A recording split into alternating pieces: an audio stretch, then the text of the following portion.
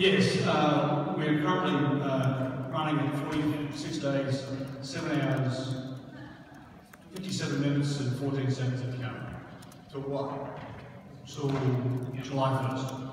And what happens July 1st? My understanding is that's the uh, end, uh, the start of the fiscal year. And start of the fiscal year, wh- why are you counting down to that particular point in time? Uh, I share the gentleman's concern that we're late in the year, and at this point, we've no way of funding state government beyond that day. Okay, so uh, essentially what you're saying is that we're going to shut down if we don't have a budget. That's my understanding. Are you prepared today to vote for or against the budget?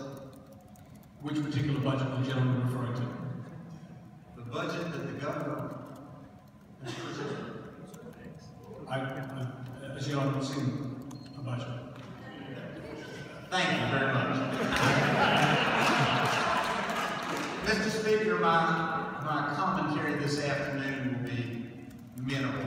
However, my good friend from the 30th, and I get to come in and see that blue light, and I appreciate it because I, I sell LED signs, and so it, it's a good promotion for what I do for a living.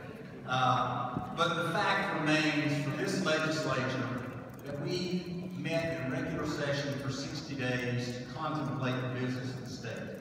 We met to contemplate taxes. We met to contemplate road funding. We met to contemplate all of those items, and we did our business within that 60-day period. Included within that, we authorized the governor to put before the electorate a bond issue to vote on. So we've done that kind of work.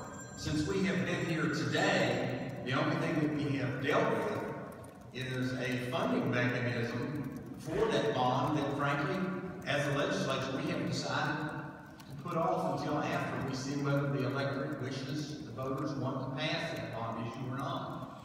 But our specific purpose today, and the concern of all of us here today, and the concern of people across the state of West Virginia, is funding our state government with a budget.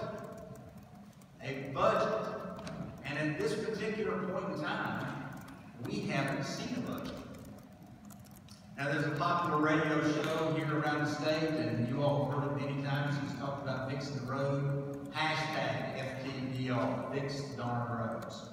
I would suggest to Mr. Kirchhoff and all those members here that maybe we need to mention to the governor, we should hashtag WTDB. Where's the darn budget? Thank you. Speaker. Ready for Tiger Road.